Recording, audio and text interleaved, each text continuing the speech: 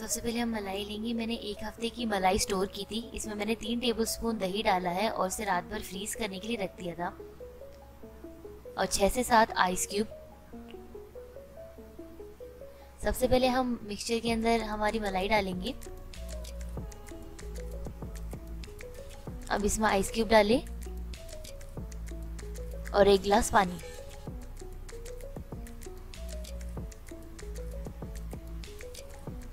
हम 10 मिनट के लिए इसे चलाएँगे।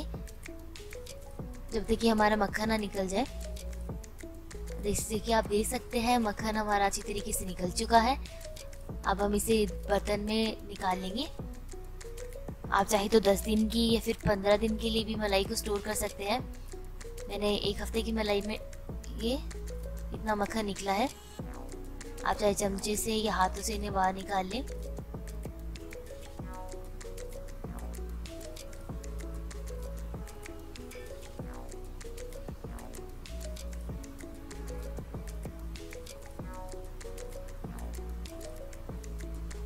कि आप देख सकते हैं हमारा मक्खन अच्छी तरीके से तैयार हो चुका है। आप चाहे तो इसे ऐसे भी यूज़ कर सकते हैं और नहीं तो इसे घी बनाकर भी यूज़ कर सकते हैं।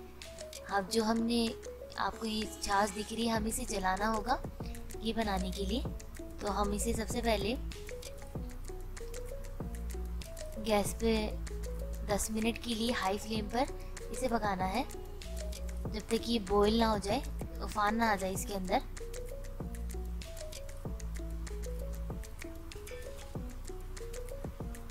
हम इसे थोड़ी देर के लिए स्टर करेंगे लगातार, जिससे कि ये उफान खा के बाहर ना आए।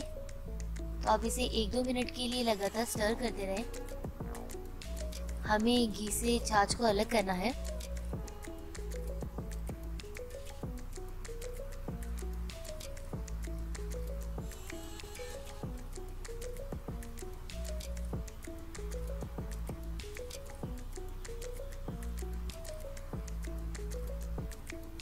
दस मिनट बाद हमारा घी कुछ ऐसा लगेगा। अब हम इसे पाँच मिनट के लिए और हाई फ्लेम पर पकाएँगे। इसे लगातार स्टर करते रहें। जैसे कि आप देख सकते हैं, छाछ अलग हो चुकी है वो बर्तन में। अब हम इसे फ्लेम को बंद करेंगे। अब हम इसे घी को हमारे दूसरे बर्तन में निकाल लेंगे। छाननी से इसे छान लें। जिससे छाछ अलग हो जाए और घी अलग हो जाए। जैसे आप देख सकते हैं, हमारी छाछ जल के अलग हो चुकी है। कि आप देख सकते हैं, हमारा घी एकदम तैयार है। घर में बना हुआ, बहुत ही सिंपल बहुत इजी आप इसी तरीके से घर पे अपना घी तैयार कर सकते हैं। अगर आपको हमारा वीडियो अच्छा लगा तो प्लीज़ हमारे चैनल को सब्सक्राइब करें।